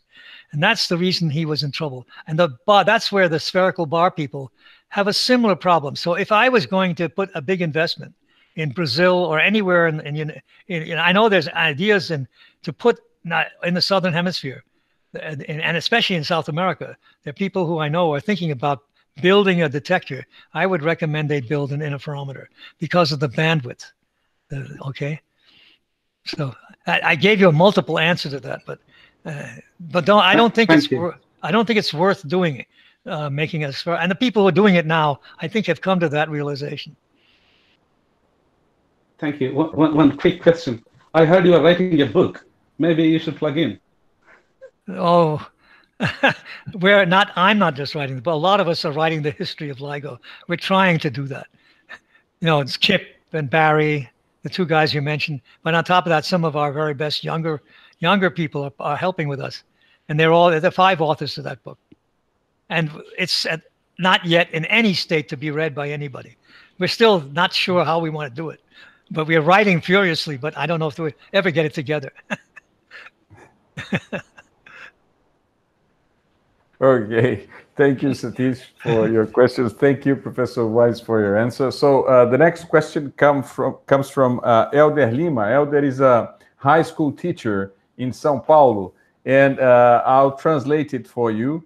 So uh, when, when the gravitational waves passes by uh, a beam of light, uh, a laser light, right, which are the, the modifications or the influence of the gravitational waves yeah. in the properties of light, right? I mean, if you could make a that's a very good that's a very good question, and I'll tell you that this is one of these problems with general relativity, which you know better than I do. Okay, uh, but the thing is, let me tell you, there are two ways to interpret what we are measuring. You can't use both of them simultaneously you, can't use them both simultaneously. You have to go one way or the other what I'm about to tell you, but you can't do both. Okay. One way to think about it is that the gravitational wave actually exerts forces on those mirrors. And that's the way Weber thought about it. And if you're a specialist in general relativity, what you're doing is you're using the Ricci tensor as a, as a force. It's a differential force as a, gra- as a gradient force. That's one way to think about it. There's nothing wrong with that. On the other hand, I don't like forces. I happen to think that forces, I think that Einstein got rid of them, and why should we reinvent them? And um, and so the other way to think about it is quite subtle, but I it's aesthetically more interesting to me, and that is that there is actually an interaction between the gravitational wave and the electromagnetic wave, and this is a thing a theorist could do. Um, you can say take the theory of Maxwell's equations and apply them to a gravitational wave in general relativity. And you will find out something very interesting. It does actually do something to the gravitational wave. It puts sidebands. In other words, let's say you have a very pure frequency gravitation, uh, pure frequency light wave. And now it comes into a region where there is a gravitational wave. What you get, the, the light interact, the, the gravitational wave interacts with the light to cause little tiny, very tiny amplitude sidebands to the main light wave, which are at a frequency that are omega of the gravitational wave, the frequency of the gravitational wave, different than the initial LIGO and the initial laser was. So you have the following thing after the gravitational wave has started interacting with the laser light, you have a the laser light, which is at frequency omega zero. And then you have another wave at omega zero plus omega gravitational wave, and another wave at omega minus omega, omega zero minus omega gravitational wave. And I would love to see if we could ever show that. Okay. It's another way of expressing the same, but then there are now forces. You got rid of the forces. If you apply both methods, then you get either nothing or double the effect. Okay. So be careful. Okay. Okay, so thank you, uh, uh, Elder, for your question, Professor Weiss for your answer. So the next question comes from Yuri Falcão. He did not write uh, uh, uh, what he is doing now, but I mean, he I know he's he's now attending from the northeast of Brazil, Recife, in Pernambuco, and he he uh, he wrote in Portuguese. I'll try to translate it. So his question is about the, the collision of two black holes, just about the moment the two black holes get together so uh, uh, you you illustrated with uh, some some graphs and some plots. And maybe if you could say something about this moment where the collision happens uh, or the fusion happens, I think he will be happy. Well, I wish I could. I think that's. I, I don't think there is right now. The person who might be able to answer that more intelligently than I is Kip Kip Thorne. Okay. On the other hand, what I do know is the following it's a very different kind of collision than happens with anything else because there is no tidal term. In other words, the this is pure energy that gets collected into a black hole. And what happens is that if you take, let's start with the new two neutron stars. When they collide, they they stretch each other, and eventually they tear each other apart. Nothing like that happens with the black hole. There's no way to tear a black hole apart. So what happens is that that there first there's no tidal term at all. So they even though they're made out of pure energy, they don't stretch. none of none of those formulae that are used in generating the waveform for a black hole pair as they get closer and closer. Is there a term in there for the stretching of the of the black hole that isn't there? It doesn't happen. So that's a very, very important thing. So there's no forgiveness in the black hole. It stays the black hole. Now, what happens is once the black holes collide, and it's very shortly at the almost the instant just before they collide, something interesting happens in the space around them. And that was discovered a long time ago by a lot of people who started doing perturbation theory in gravity. They found out that when you have two black holes collide, the metric, that's the space around them, around the two black holes, begins to oscillate like it has its own normal modes. The space itself oscillates, not just the black holes, the space around them. And so you have, in fact, a whole set of normal modes, like a bell. They're not very good bells. They have they're very strongly damped by the gravitational waves, but they have definite frequencies and definite uh, uh, storage times. And we are now looking for those, by the way. And we, I think we have begun to see them in the data analysis. So there are two things that are happening on. The black holes are making a signal which is unforgiving, but the space around them is singing along with them. And that is making the whole collision a little more interesting. Uh, what ha is happening is that that the space is oscillating itself and has all these different frequency modes, and they contribute to that waveform that, that you saw. And that, that's the reason at high frequencies where, and and at, at the when the collision is almost over, uh, and it's, and it's very hard because the noise is so large there. We will do better and better on measuring that as we get more and more black holes. But that's the best I can tell you. There's more going on than just the black holes. The space itself is oscillating. Thank you for the answer, Professor. Yeah. Okay. So thank you, Yuri, for the question. Uh, thank you, Professor Weiss, for the very nice answer, I should say. Mauricio yeah. Calvão from uh, University of Rio de Janeiro. Uh, uh do you want to make the question yourself, uh, Mauricio? Yes, thank you, Crispino. You're welcome. Uh, first of all, I'd like to thank again the very pedagogical lecturer, Professor Weiss.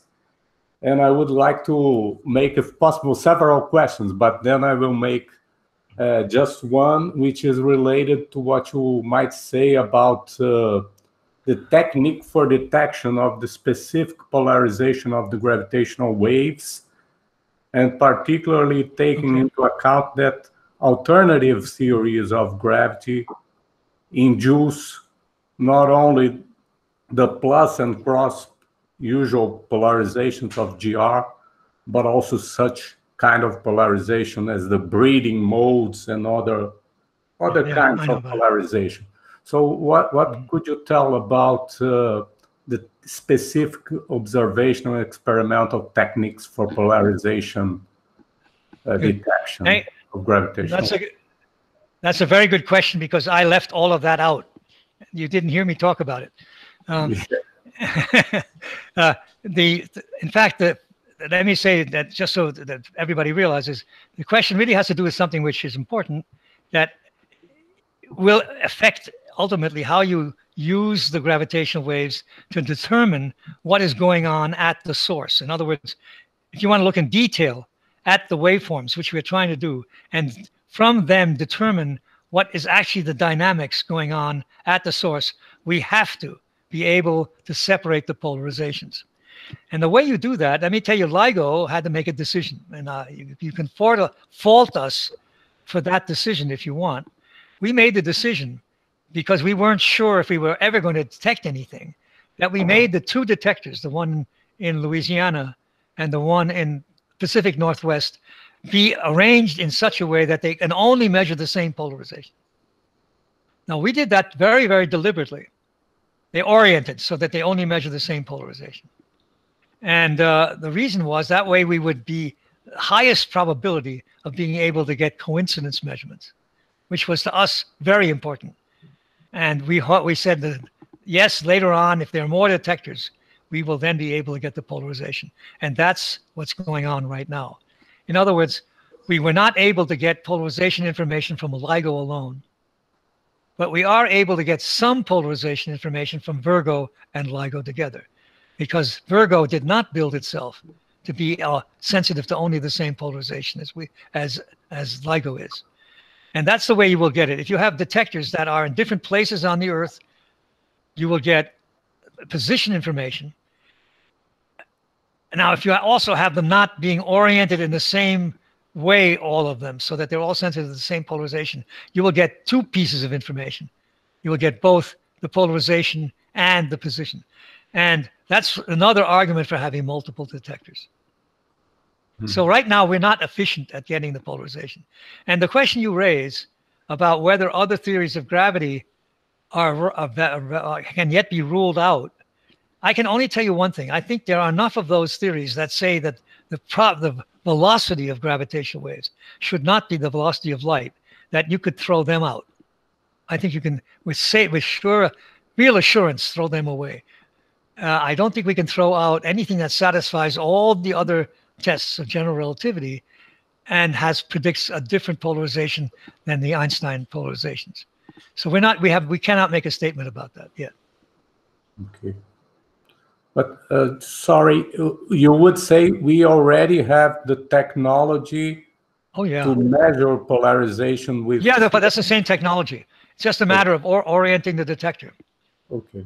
So the planes of the arms are essentially parallel, perhaps. That's right. And the way you the way you do that is you take take the, the, the L's, project them to the center of the Earth, okay, and see how much they lie on top of each other. And what if you get some of those, you would like to have them be at 45 degrees to each other. Okay. Okay. That's the other polarization. And that's easy to get. Virgo is about 30 degrees to uh, to LIGO. Okay. So. Thank you. Mm -hmm. Okay, thank you, Mauricio, for your question. Thank you, Professor Weiss, for your answer. So uh, we have um, more questions here. Uh, so uh, I'll, I'll, join two of them together so you can decide uh, how you answer. So one is a second question from the, the, the high school teacher, Elder Silva. Uh, he is asking if uh, LIGO works uninterruptedly. I mean, all the time or stops for the first run, second run, third run, obviously. Yeah. I mean, yeah, well, that's, the, the second question, maybe you can give a joint answer, uh, comes from Elismar Lost from uh, Santa Catarina, a, city in the south of Brazil. And uh, he says, is there a way to figure out the distance to an object using gravitational waves emission? He's a student on a graduate program. Oh yeah, no, we need, we desperately need to figure out the distance. But we had to measure to, to be, let me start by, we measure the distance now to the object by looking at the amplitude of the wave as we measure it.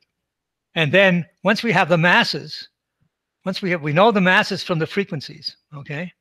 And once we know that, we know what to, put into the Einstein equation for the solution. We solve the Einstein equations by numerically and get the amplitude of the strain at the source or some other distance. Then you look at what's predicted for this amplitude it should be, and we measure it. And that gives you the distance right away because the amplitude of the strain goes down as one over the distance from the source. Okay. No, without that, we couldn't do the cosmology. Okay. So we measure the distance by using theory and the measurement of the amplitude of the strain we measure. And a lot of argument goes into how well can we measure that amplitude? Well, we're now able to sort of measure that to probably five to 10%. Okay. We have an error of five to 10%, depending on how strong the source is. Now, the other part of the question is actually a very important one too, operationally. We, if we want to keep improving, and we do that, that's what we do every time we stop running. We have come up with a way to make the detector more sensitive or have a broader bandwidth. And then a decision is made. It's, it's not an easy decision to stop running and, and make the improvement and then go back to running again. If we can't do that, then the thing would get, actually, we would never make any improvements in the system. And that's another reason for having multiple detectors. So for example, it would be quite a pity if LIGO, if both LIGO detectors were dead at the moment when a supernova went off in our own galaxy. Now, that would be a major opportunity missed. So you, and if, if LIGO is the only one that has a sensitivity to do that. So that's another argument for having multiple detectors and all equally sensitive. So uh, thank you, uh, Elio and uh, Elder and uh, uh, Elismar for your questions, Professor Weiss for your answer. The next question comes from Ciclânio Barreto from Rio Grande do Norte in the now in the northeast of Brazil. Ciclânio, do you want to make the question yourself or do you want me to read it? So you can do it. Okay, I'll, I'll read it. It's in the chat. So a general question. Uh, we have seen a ex spectacular expansion of as astronomy when it stopped being made exclusively in the visible light band and used other bands of the electromagnetic spectrum. The contempor contemporary view of the universe is only possible until now due to this boom, he says. Uh, how can uh, the impact of astronomy made with uh, gravitational waves be compared with this historical impact of astronomy uh, when using wider bands of the electromagnetic spectrum? Okay. Well, yeah, that, that's a basic question and one of the most important ones when you try to get more funding for this field. Okay. And it's, I think it has a charming answer. I really, I think you'll like the answer. Uh, the, it's been, as you say, very important to be able to look with radio all the way up to X-ray uh, or even gamma ray. And we learn all the different possible things from that. And with gravitation waves, they even have a, they have a, and neutrinos and particle physics we have something called multi-messenger astronomy. And that has paid off dramatically in this neutron star detection, for example. But let me say what is the real advantage. I think the gravitational one, and it's not because I worked on it, has something which is different than all the others. And that is that the gravitational waves, uh, they have a penalty for this. They're very hard to detect. As you know, it took 50 years to get instruments that would detect them. But once you have those instruments, you get a nice advantage out of that because the gravitational waves don't interact with anything. They, in fact, interact less than anything in the, that has ever been thought of. Neutrinos interact dramatically with matter if you compare them to gravitational waves. In fact, you can take a gravitational wave if it's generated, let's say, at, uh, at, at, the, at a Hubble distance to the left, and you want to go to a Hubble distance at the right, that wave will not have been touched. It'll be identical in, it'll be weaker, but there will be no scattering. Nothing has been done to that wave to change it, except it getting weaker because it's spreading out. And there, this is something that is absolutely unique to gravitational waves. And for example, one of the things that is so important with that and you can ask, why does that happen? Why is gravitational waves so penetrating? It's the most penetrating radiation in, uh, in all of nature. It's because when you, let me say why that is so that you understand it. it. When you take light, light is able to induce in the atoms and the, the matter that's in the way is able to induce dipoles and quadrupoles in the matter, and they will re-radiate the, the wave, and they will disturb the way the wave gets propagated. And that's called the index refraction. And so you will get all sorts of effects that change the initial wave. That same process will happen with gravitational waves. Gravitational waves will cause stretching of space and matter that will then recreate further new gravitational waves. But when you put the numbers in, you have to, it's a thing that has to do with the numbers. You, the first of the gravitational wave is so hard to generate to begin with, and then you make it doubly hard exponentially. You will just not have any scattered light, a scattered gravitational wave generated by the matter in between. And that's even true if you have a, a, a, an enormous density of black holes. It's just not possible. So it turns out that if you want to look inside of a supernova, for example, you want to look at really what's going on inside what's happening, the dynamics in a supernova. You're not going to do that with electromagnetic radiation. It gets disturbed. You won't see it. But gravitational waves will tell you exactly what's going on with the bulk of the matter that's going on and how it moves inside the supernova. The same thing is true if you want to look at the beginning of the universe. It'll go through all of that, all of the universe, all this you know, all that hot universe, everything that goes on up to the moment of the inflation going backwards, you can, can in principle, if you can make a, sens- a sensitive detector, sensitive enough detector, you can go back and see what inflation looked like. And nothing will have disturbed it. And that's, I think, gravitational waves' big advantage. Okay, so thank you, thank you, Ciclame, for a question, and thank you very much, uh, Professor Weiss, for your answer. Next question comes also from Satish. Satish, do you want to make it quickly? You may skip my question, please, because of the time. Thank you. Okay, so if we have time, we can back come back to that again. So uh, another question comes from Mikel Miravet. I don't know where he's speaking from. Mikel, do you want to make the question yourself? Do you want me to read it?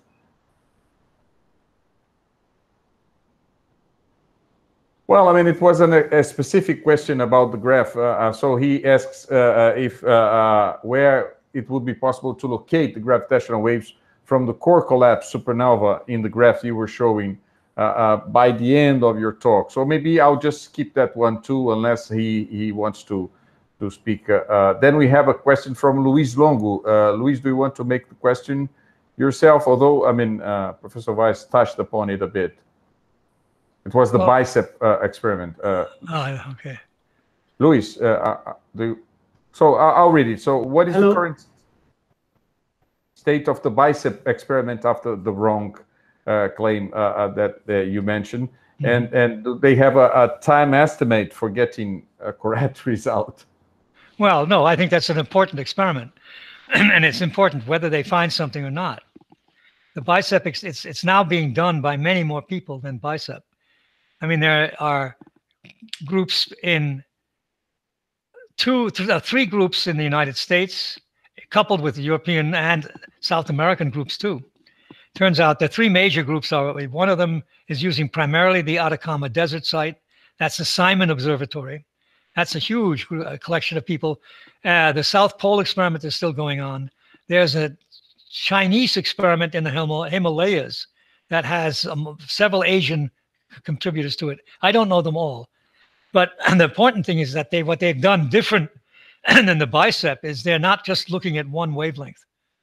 see, the mistake that BICEP made was to look only at one wavelength, one electromagnetic wavelength, and that makes you very, very vulnerable to being fooled by synchrotron emission, which falls at the same frequency, and also by dust emission, which falls at the same frequency. So if you want to protect yourself against that, you have to have more channels, more frequency channels.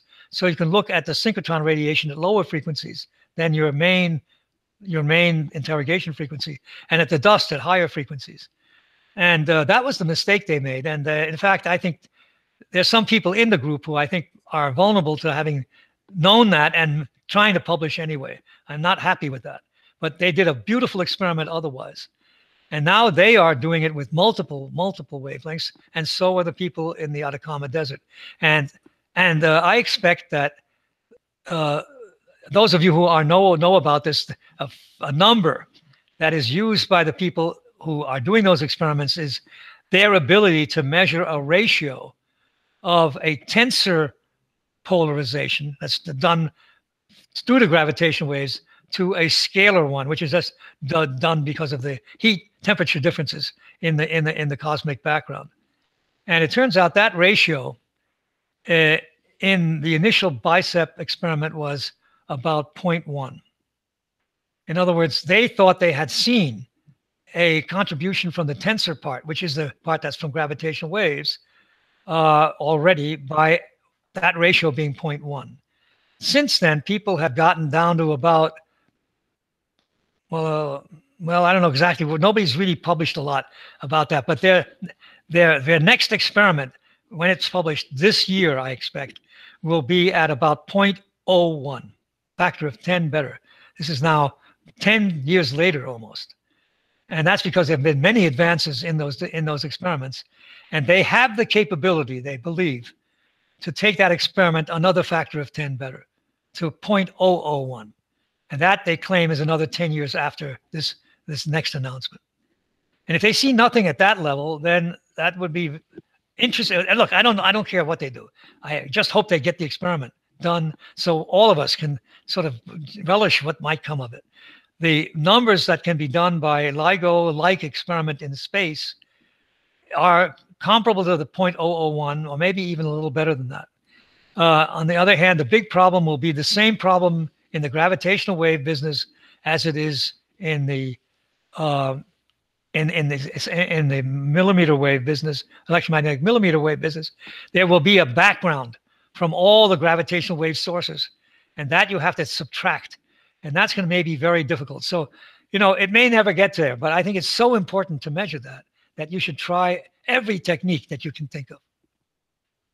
It's one. Of, It's, I think it's the most important experiment you can do with gravitational waves. Okay, so thank you, Longo, for your question. Thank you, Professor Rainer, for for your answer. So uh, uh, the next next question comes from uh, also from Pernambuco, uh, Professor Mauricio Coutinho. Do you want to make the question yourself? Uh, uh, yes. thank you for this beautiful seminar and I'd like to make a, a very general question.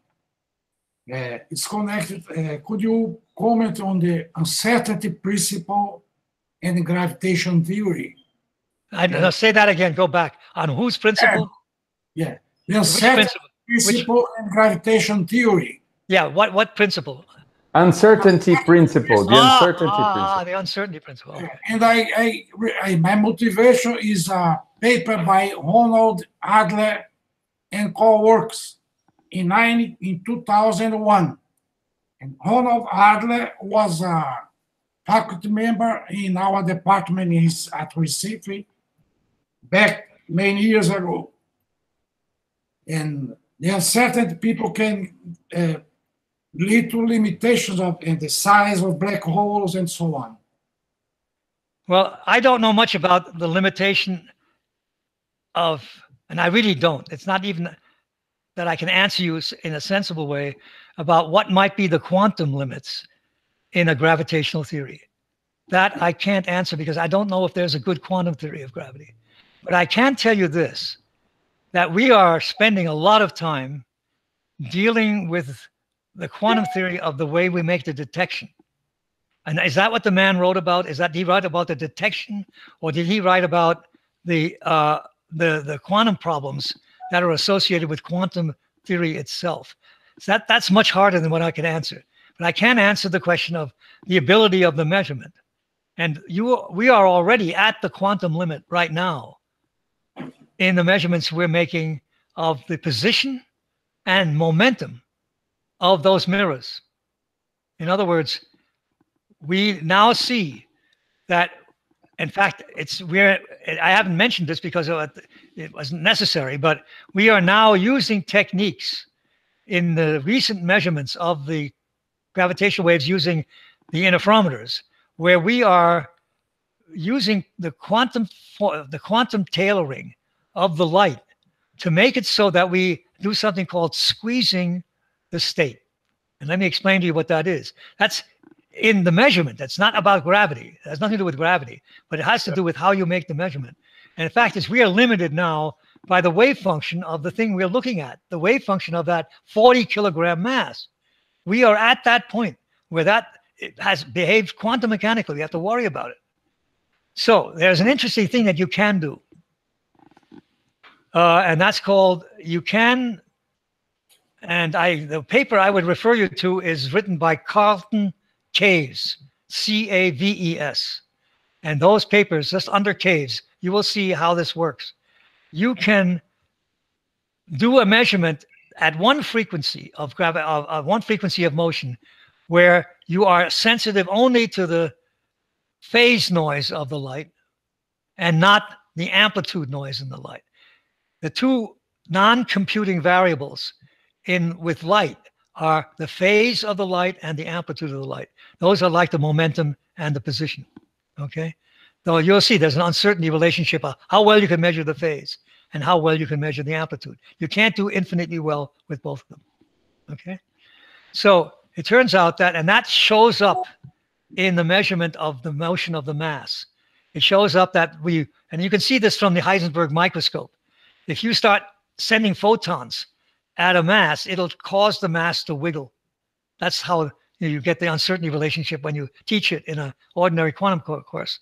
You know, the fact that you made the measurement with a high intensity light or high to make the wavelength small, you had to use high energy photons. These kicked the mass. So you can't simultaneously measure the position of the mass and the momentum of the mass simultaneously. That's a famous conundrum in quantum theory. The same thing happens with big masses. And when you talk about trying to make a precision measurement, you screw up by putting a momentum into the big mass by doing it. But you can avoid that. And you can avoid that by doing two things tailoring the light so that it only has phase noise in it at one frequency and only amplitude noise at another frequency. And those two things, the amplitude noise doesn't matter at all when you look at high frequencies. And the, the phase noise matters dramatically at high frequencies.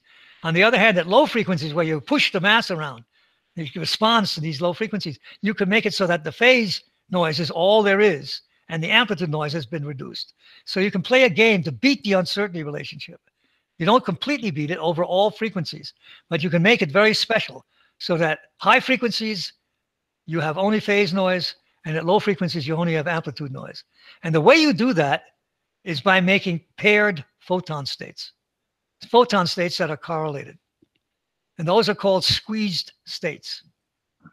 Okay. And that's a beautiful thing. We're doing that right now already and have already improved the sensitivity of the detectors by about a factor of one and a half to two because we've paired photons. And the, you don't do that at the input. You don't do it where the laser is. The laser noise drops out. You do that at the other port of the interferometer, where the quantum fluctuations come in. The quantum, and that's what Carlton Caves will show you. The quantum fluctuations come into the interferometer at where the detector is. That's where they come in. And those fluctuations, you can you can make them smaller by finding if the quantum fluctuation, you effectively induce a second photon to be generated. And to do two things, you let the quantum fluctuation come in, you have a nonlinear medium. In that nonlinear medium, you generate an amplified version of the quantum fluctuation and another photon. Those two photons, you can now uh, pair them in such a way that they only have phase modulation sidebands or only amplitude modulation sidebands. And that's the trick. And that's the best I can tell you. But that doesn't apply to qu the quantum theory as it applies to gravity. That I can't tell you much about. Thank you. Look, okay. I gotta I gotta stop, please, and another another one or two because I I got I gotta do some other stuff. okay well it's up to you you decide yeah. uh, so yeah. let let us let us leave a final final question and then we, we as you wish okay so uh, uh, José Ademir uh, from University of São Paulo do you want to make the question uh, Ademir yes Crispin thank you thank You're you for the opportunity and uh, thank you also to, Professor Weiss by the great the great seminar. My question uh, is related with the back reaction, or if you prefer, with the radiation reaction. Radiation reaction in the electromagnetic case is a very well studied subject. But perhaps we may have problems here in, in, in, with gravitational waves. Uh, because if we, we, use your numbers, uh, a non-negligible uh, mass, in this case for extreme events like black holes, is transformed in radiation, right? Well, let me, I, I got up to the last sentence. Ask the last part of your question again, just the very last sentence. Yes, yes. Uh, uh, a part, a non-negligible part of the mass for extreme events like black holes is transformed in radiation. Is that that's the part I wanted? It's the back More radiation uh, reaction. The radiation reaction. Yeah.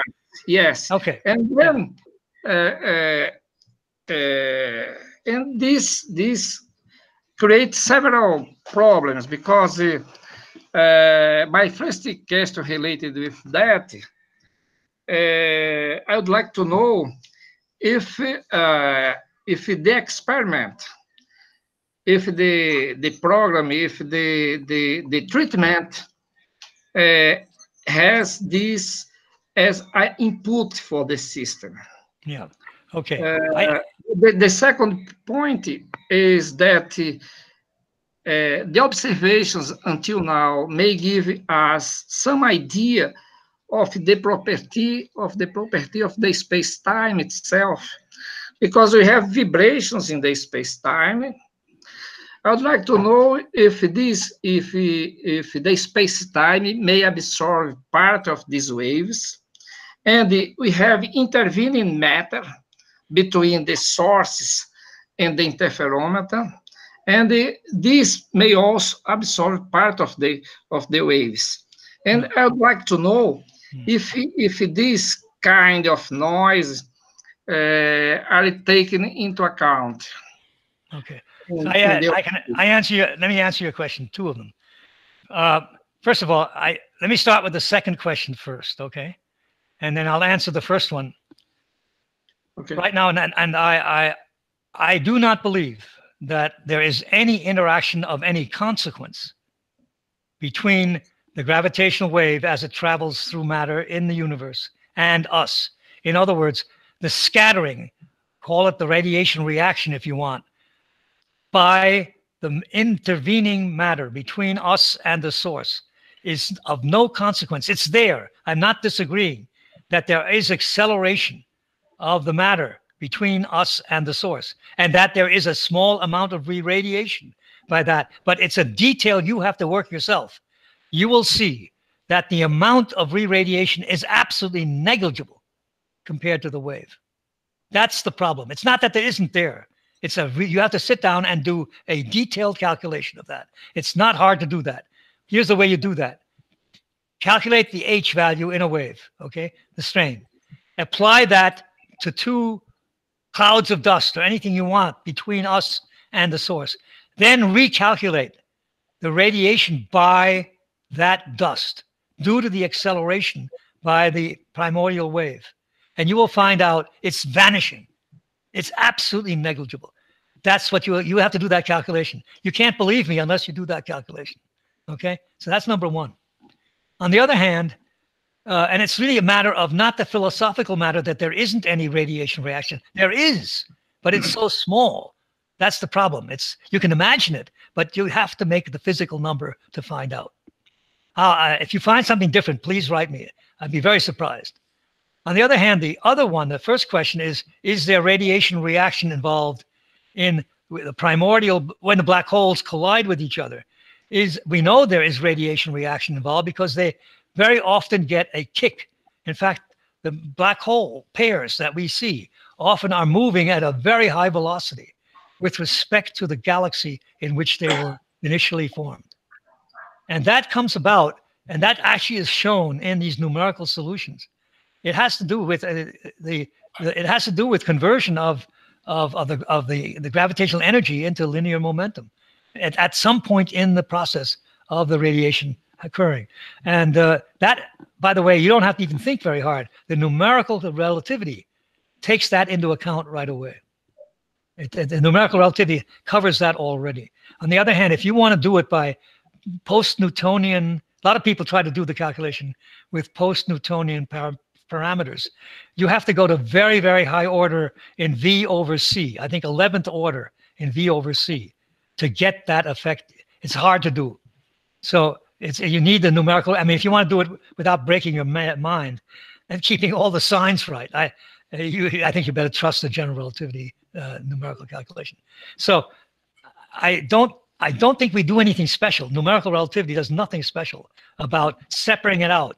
The, the advanced solution from the retarded solution from the all the different tricks we have that how to deal with the radiation problem. It it doesn't think about that. It just does it and that that's the elegance of and also the stupidity of numerical methods okay okay okay thank you bro yeah thank you okay thank you. So, professor Rainer Weiss i mean it's uh, now almost two hours yeah, of, of I, your I, lecture. I, and I mean, uh, well, I mean, we cannot we cannot find the words. I mean, to acknowledge uh, properly to your kindness of giving this wonderful webinar to us. But before we finish, I'll just ask everybody to turn on the microphones again to give a final round of applause and retribution to this wonderful. Thank you.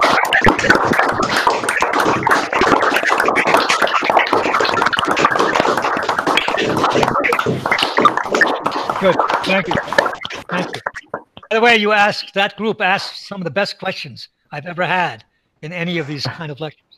So there's a lot of hot things going on in Brazil, let me tell you. Thank you. Thank you, Professor. All the best. All the bye best bye. to you. Bye bye. Bye bye.